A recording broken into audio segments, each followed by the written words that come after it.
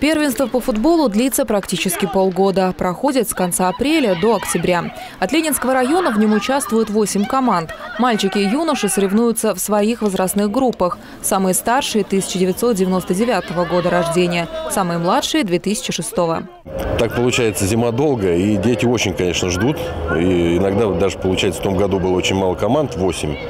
Вот, и получилось то, что дольше ждали, чем играли. Конечно, это всегда они с нетерпением, быстрее игры, быстрее, чтобы от школы отвлечься немного. Ну, для них это интересно, как бы, стараемся их мотивировать различные призы там даем лучшим игрокам.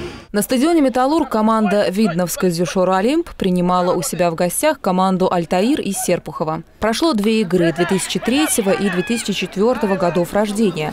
13-летний центральный полузащитник видновской команды Данила Тимофеев в прошлом матче со спортклубом ВДВ из Нарафаминска стал лучшим бомбардиром. Я вот шесть голов забил. Да ты что? В одном матче. Да. Вот. В одном матче? Да. Дождь был очень сильный. Мы все промокли. А вот другому игроку нашей команды, тоже Даниле, приходится нелегко. Он капитан. И на его плечи всегда ложится большая ответственность.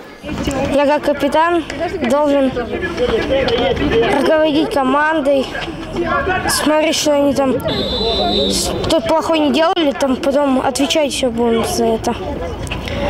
Но они тебя слушают? Да.